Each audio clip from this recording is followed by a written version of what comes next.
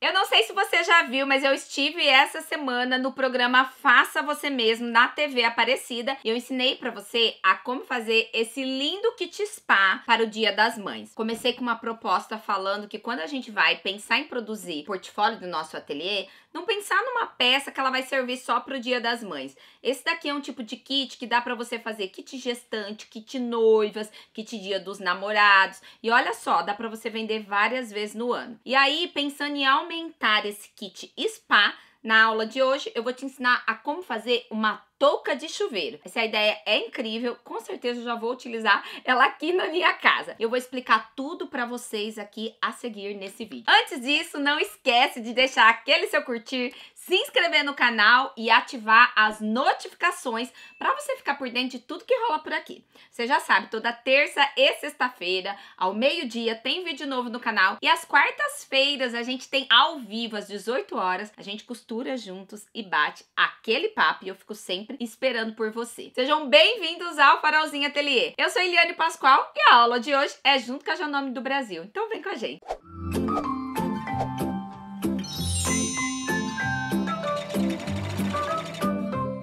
Então, gente, como que é aqui a nossa peça, ó? É uma touquinha para chuveiro. Eu vou explicar para vocês como tirar a medida e aí você precisa adaptar para o chuveiro. Eu tô pensando aqui naquele chuveiro comum, simples mesmo. E aí na parte de baixo, ó, ela tem aqui essa redinha, por quê? A gente faz um sachêzinho, é um saquinho de 10 por 12 centímetros, coloquei aqui ervinhas dentro. Esse sachê, ele fica aqui, ó, no fundo da nossa peça. E aqui a gente veste como se fosse uma camisinha no chuveiro, a gente veste e aí, usa essa parte aqui para aper apertar, né? Para fechar e não escapar. E aí, a água vai entrar normalmente ali no chuveiro. Como tem a redinha, ela escorre.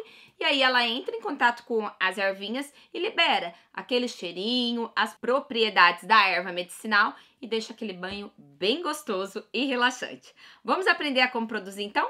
A touca para chuveiros. Vem comigo. Para fazer esse passo a passo, nós vamos precisar de duas camadas de telinha. Aqui eu tô utilizando a tela vôlei.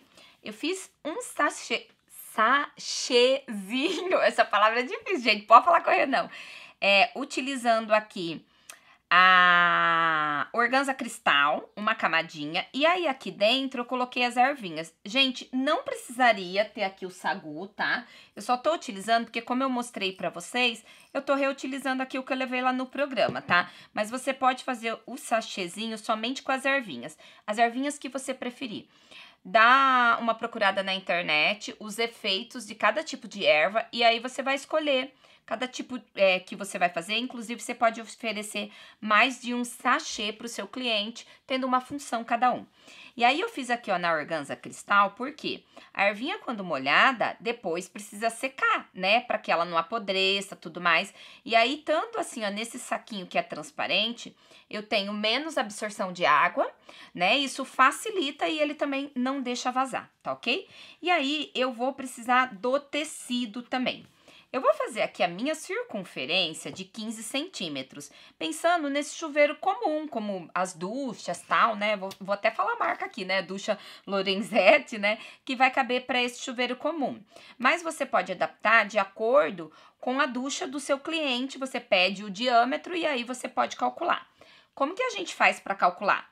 Você pega a sua fita métrica em pé e aí você vai fazer aqui toda a volta. Ó, você vem bem encostadinho, faz toda a volta, ó, toda a volta. Aí eu pego justinho, ó. Vai dar aqui 48,5. E aí você precisa colocar a margem de costura. Aqui no caso, eu colocaria mais 2 centímetros, tá ok? Por que 2 centímetros? Porque você vem costurando no cantinho, se sobrar um pouquinho, você afunda mais a sua costura. Mas se faltar, você tem que cortar outro tecido. Então, corta sempre um pouquinho a mais. Se você não tiver segurança, você pode cortar até um pouquinho mais. Coisa de 3, 4 centímetros, tá ok? Então, aqui, ó, no meu tecido, eu vou estar tá precisando aqui, ó, de 48 centímetros e meio para poder fazer minha peça. E aí, eu vou estar tá utilizando também o cordão de cetim para poder amarrar na parte de cima, porque ele entra como uma toquinha mesmo no chuveiro. Bem simples de fazer, então vamos lá. Primeira coisa que eu faço aqui, ó, eu coloco o meu círculo, que tem 15 centímetros de diâmetro, e risco com uma caneta mágica. Talvez não dê para vocês verem, mas tá arriscadinho. Aí eu tô utilizando duas telinhas, porque uma telinha, gente, como a gente põe aqui o, o sachêzinho, vem o peso da água, pode o quê? Fazer com que deforme e rasgue com facilidade. Então, como eu tô utilizando a tela vôlei, eu, prefiro reforçar e usar duas. Se você estiver usando outro tipo de material, de repente você pode colocar só uma. E aí eu vou passar uma costura aqui em toda a volta.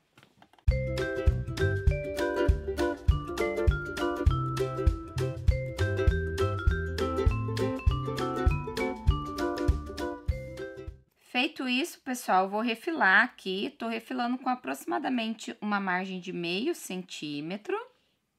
E agora aqui eu vou começar a costurar somente um tecido em toda a minha volta. Ó, eu vou deixar aqui mais ou menos ó, uns cinco dedinhos para eu começar a costurar, para depois eu unir aqui. Por quê? Justamente aquilo que eu falei para vocês. Se eu perceber que falta, eu ajusto mais.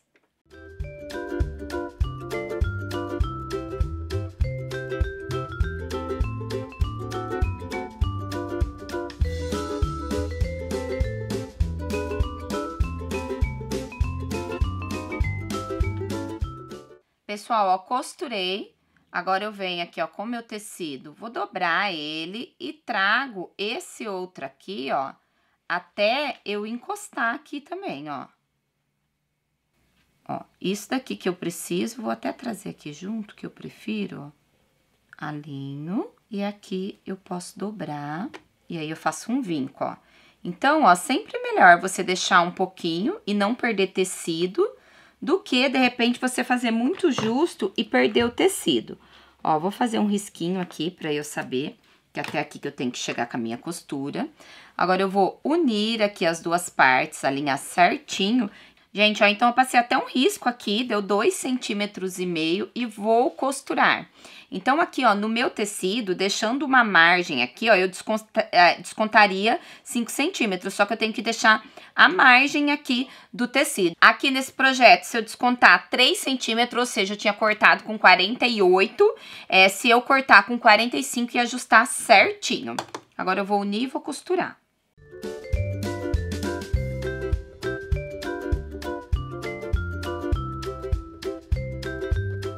E aí, ó, pessoal, já vou usar o forro aqui para poder descontar essa diferença também. Que daí o meu forro já costuro direto. Agora eu já vou fechar a lateral do meu forro.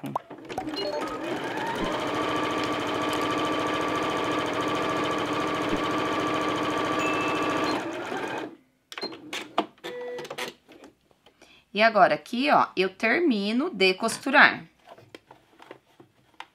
Termino de costurar aqui o meu círculo.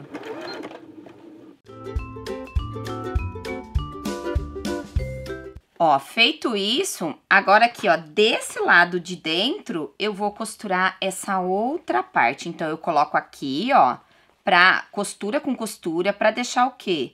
Todo o meu forro aqui embutido. Quem quiser fazer com tecido só, pode também, tá ok? E aí, eu vou costurar aqui o meu círculo.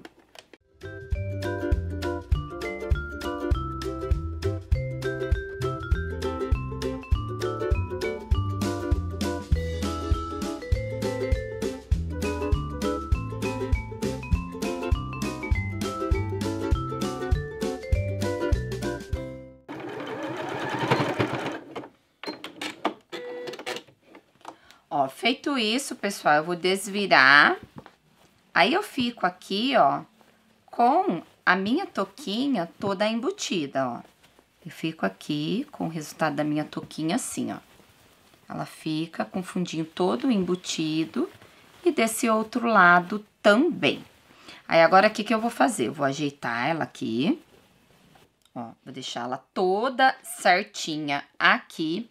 E aí, pessoal, eu vou aqui, ó, dobrar. Aí tem duas opções. Eu dobro aqui e aqui a mesma costura, tá ok, ó? Aqui aqui a mesma costura e eu venho rebatendo aqui em toda a minha volta. Ou quem preferir, pode unir aqui, ó, passa um zigue-zague e dobra para dentro, tá? Eu prefiro fazer tudo embutido.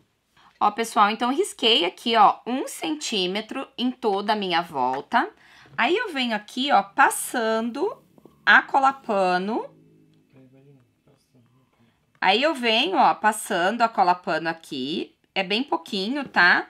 E depois no ferro eu dobro, ó, pra ficar certinho. Então eu já fiz desse lado e eu vou agora fazer desse outro lado também, ó.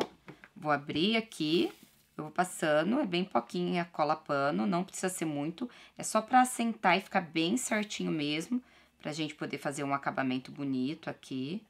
Ó, e aí eu vou pro ferro pra poder vincar aqui. Pessoal, e aí é importante, ó, abrir as costuras, tá? Porque depois a gente vai desmanchar um pedacinho. Agora eu vou vestir aqui, um no outro. E aí, ó, eu começo unindo aqui nas costuras e vou aqui, ó, rebater em toda a volta. Aqui, ó, eu vou tirar esse braço da minha máquina. E aí, eu vou rebater aqui com um pontinho de zigue-zague nessa borda.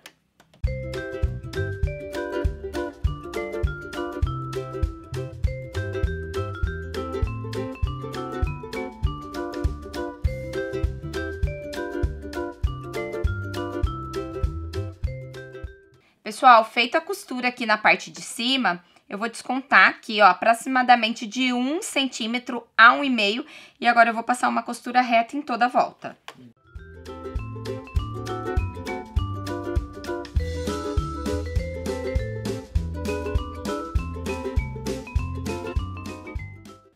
Sempre lembrando da gente fazer o retrocesso no início e no final aqui da nossa peça. Aí, com essa parte pronta, eu vou desmanchar aqui, ó, esses pontinhos. Que a gente uniu aqui as costuras, somente pela parte externa. Ó, pessoal, feito, desmanchei. E agora eu vou passar o meu cordão de cetim por aqui. Entro desse lado, saio desse lado.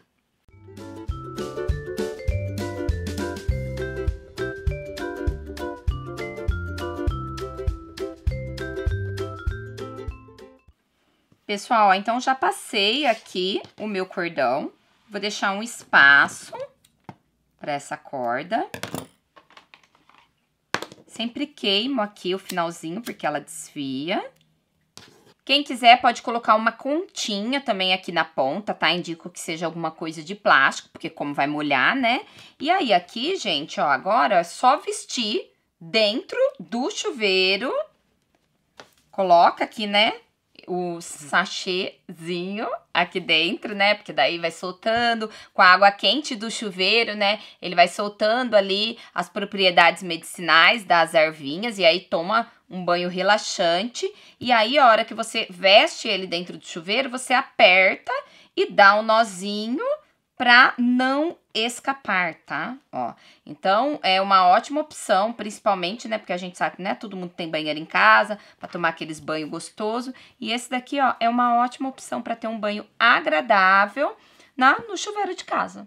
Pessoal, e viram só que dica incrível? Então a gente agora pode aproveitar e ter aquele banho super relaxante. E aí eu quero também deixar aqui para vocês mais uma dica que eu sempre tô trazendo aqui para vocês poderem vender, pensar aí no seu produto. Quando você for pensar em produzir as peças, pensa no seu cliente, não só no nicho, mas também no seu cliente. Por exemplo, eu produzo peças do enxoval de bebê, mas eu vendo diretamente para mães. Então esse é um produto que comunica muito com a a minha mãe. E com aquela mãe, né? Com a mãe, a cliente. E aí, além de tudo, ó, a gente vai ter aula dessas outras peças aqui. Eu posso fazer peças que se adaptam. Tanto serve para a mãe, como serve também para o bebê. Então, aqui é uma almofada terapêutica. Ela pode estar utilizando assim, ó, para colocar nos olhos, para ter aquele relaxamento. E ela serve também para as cólicas do bebê. Gostaram aí dessas dicas? Então aproveita, já deixa aquele seu curtir, se inscreve no canal e ativa as notificações para você ficar por dentro de tudo que rola por aqui. Eu espero que vocês tenham gostado da aula de hoje. Fiquem com Deus, um super beijo e até a próxima aula. Tchau!